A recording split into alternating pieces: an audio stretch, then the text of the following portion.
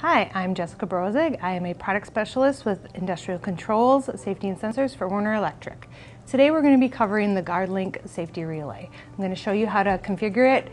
It's very quick, it's very easy, so we're going to go ahead and go over the GuardLink relay configuration. There are a couple of LEDs on here that um, you're going to want to know what they mean, so we'll go over those and a couple buttons. There's a little dial. Um, with this, there is a user manual that you will be able to find. Either you can Google it or on the literature library at ab.com.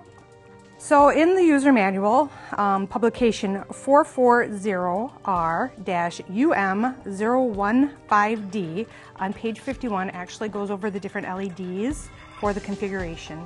So if you notice that there's um, a table, table 9, so the status indicators, and I'm going to go over those um, in a moment, it tells you what they function as and what colors you want them to be selected in order to function the way you want it to function. So for instance, the out LED indicator, which is the second LED on the relay, is what you would use to select the number of safety functions. So with the GuardLink um, safety relay, you can actually pick two. So you can do either one input or two inputs. We're gonna go ahead and select the one input, which would be the red LED.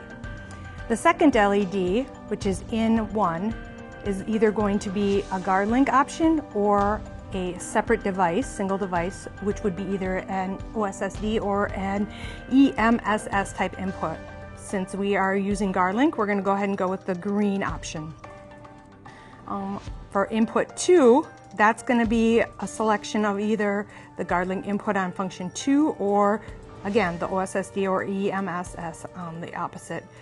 However, since we only have the GuardLink on here, we're just going to leave it blank and that will automatically um, select for us. Output X, that is actually um, an option between single wire safety or an OSSD. Um, with that, we're going to go ahead and go with the OSSD or the red function. Input X, um, that is going to be the activate the single wire safety or the OSSD input on X1 um, but we are not going to be doing that. We're just going to disable input on X1. So we will select the red. The reset type, that's going to be either manual monitored reset or automatic reset. We're going to go ahead with the manual monitored reset because when we do hook up the other portion of this demo, we want the monitored reset. And then finally the FB, which is the reset assignment. You're going to select either the reset on the output function or the reset on in1. Um, we are not going to be using this portion. So now we're gonna actually go ahead and configure the relay. So there's two little buttons on here, one that says config set and select save. So config set is gonna cycle you through the options and each LED will um, flash when you're on that selection. And then set save is gonna set the selection. And I'll, you'll see when it goes through, it's pretty self-explanatory here. So.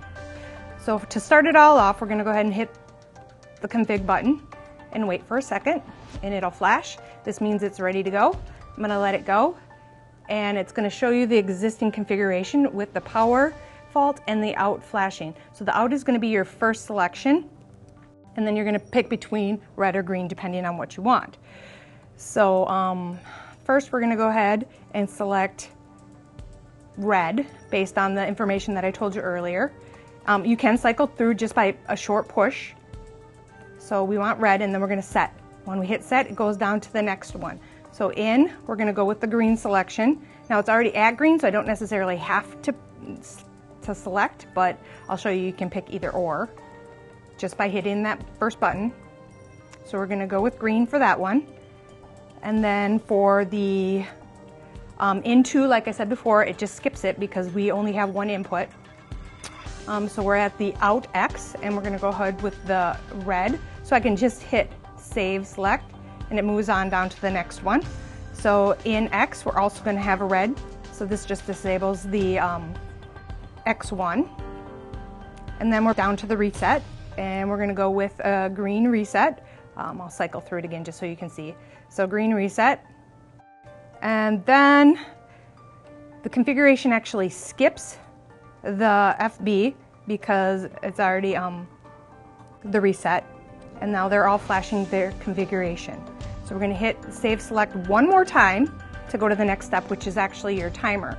So since it's on zero, nothing's flashing. Had I had it set to a different time, it would flash these bottom three LEDs, the amount of time. So if it was four seconds, it would flash four LEDs. Wait for four seconds and then flash those four again.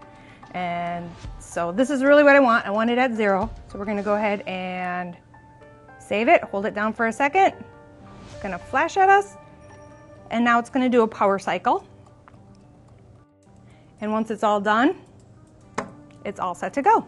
And that is how easy it is to configure the relay. So now it's set, ready to go. If I really wanted to check to see what my configuration is, you just hit the config button really quick, and that's what I had it configured to. If you'd like to learn more on how to configure your safety relay or you have any additional questions, contact your Werner Electric account manager.